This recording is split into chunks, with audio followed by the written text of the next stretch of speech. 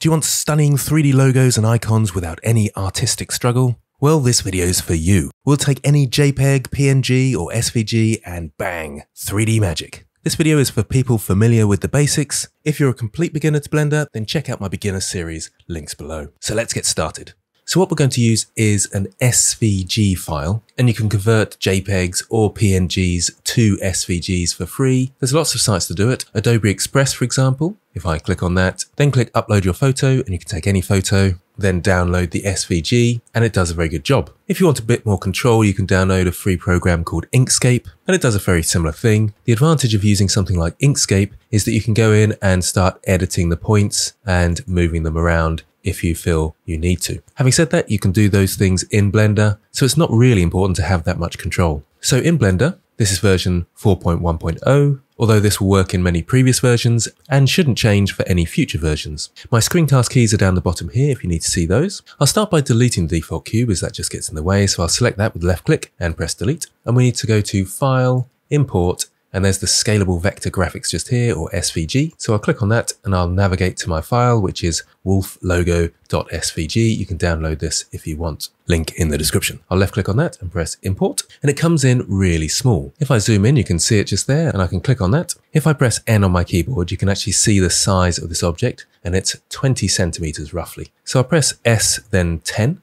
to scale it up so it's 10 times as big, so it's 2 meters by 2 meters roughly. I'll go to top view as well with 7 on my numpad so we can take a look at how it's come in. Now you might be able to see there's a slight error up the top here. That's probably a bit of the image that I didn't delete, but yours might come in a little bit rough as well. And we can easily tidy it up by going into edit mode. So that's edit mode up here, or you press tab on your keyboard and you can now see all the points. So I can easily box select the ones up here that I don't need and press delete. It'll ask you what you want to get rid of. I want to get rid of the vertices or points and it's cleared those. Now you might want to zoom in and edit the shape. Now do bear in mind you only need to do this if your shape needs editing or you're getting any errors in the extrusion step, which I'll talk about after this. So I can select on any of the points and as soon as you select a point, you have two end points that you can also now select. And if I press G to grab to move one of those, you can see the way that's affecting our shape. Now I'll undo that movement. If I select the middle point, I can press V to set the handle type. You can also find that in the control point menu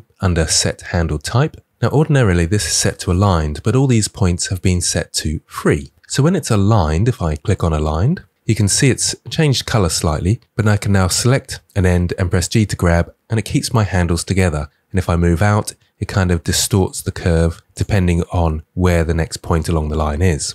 If I select the middle point and again press V for the handle type and change this to free, I can now select these points, press G to grab and move them independently.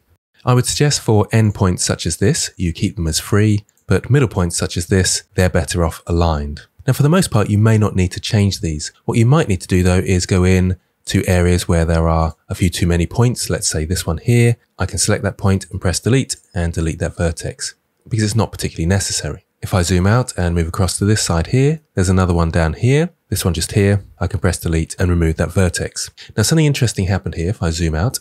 It looks a bit strange, so I'll undo that and show you what happened was there are in fact if I press G to grab, there are actually two vertices on top of one another. So just be aware that you might be getting two on top of each other like this if you do get any anomalies. I can delete this one. So delete vertices and this one, select that point and delete this one as well. And this one at the end here, I need to resize it so this shape down here works. So first of all, I'll just extend this end out. So G to grab, move that out slightly. This one can move up slightly as well, so there's a bit of a sharp point there. And this one over here, I'll just zoom out a bit so you can see what I'm doing. Select this handle, G to grab, move it down, and you can see it's sorted out that end like so. So just be aware there may be a few anomalies like that that you might need to sort out. But generally speaking, you only need to go in and edit the shape if you have a problem with the extrusion, which is the step that I'll show you now. If you like this approach and want to go into even more depth with methodical courses, then try out my Blender beginner course bundle, four courses for only $30. Discount coupon in the description. So in order to extrude our shape, let's jump back to object mode with tab. I'll go down to the curve properties down here. And to give this some thickness, we'll go to the geometry section here. I'll just scroll down so you can see that more easily. And also I'll come to kind of perspective view here. so we can see the effect it's having. Now, before I make any changes here, it's important to be aware that we have scaled this 10 times, and I'm assuming you've done the same. These different tools on the side here should be affected by that scale. So if this is scaled by 10 and we change this extrusion to one meter, it will end up being 10 meters. So we need some way of resetting the scale. We can do that by making sure our object is in object mode. So that's object mode up here. And we can press Control A. You can also find this menu under the object menu here. And you can see there, there's the apply menu just there. And we're trying to apply the scale that's being created. When I click that, our scale is now reset to one as it were with our scale applied. Now I can start using the tools over here. The first one is extrusion. So if I tap the right arrow here, it's extruded it by 0.01 meters. Now I feel like this is a possible bug because it's actually saying 0.2 there instead of 0.01 in terms of the height of our object just here. So for some reason, these values don't seem to make a lot of sense to me. So I'm going to change this to 0.004, I think will be the right amount of thickness. And that's what we've got there. And you can adjust this according to your preference. Now you may notice the edges are particularly sharp. We can change that with the bevel just here. Now again, if I click on the right arrow, it gives it a really thick bevel, which may be what you're going for, but it's not what I'm going for. So 0.001 would probably be a good bevel width.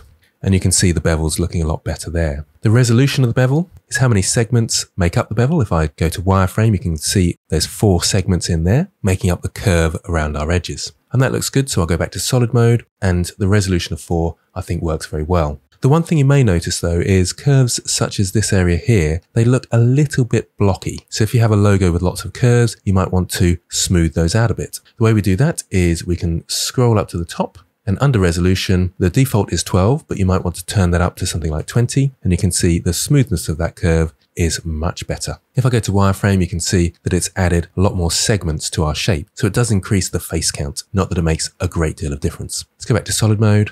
And I think that's looking great. But remember, if you do get any anomalies, perhaps in corners such as here, and maybe there's a slight anomaly in there, not that it's particularly noticeable, then you might have to go into edit mode with tab, and you'll probably have to turn off your extrusion and your bevel so you can see it easily. Make your edits, such as deleting any duplicates, and then come back and re-extrude and re-bevel it to get the detail you require. Once you've done that, you should have a really lovely 3D version of whatever logo or icon you've got here. If you want to learn more about the rendering, then check out these videos here. Otherwise, if you've got any other questions, then do comment below. Thanks for watching, and I'll see you next time.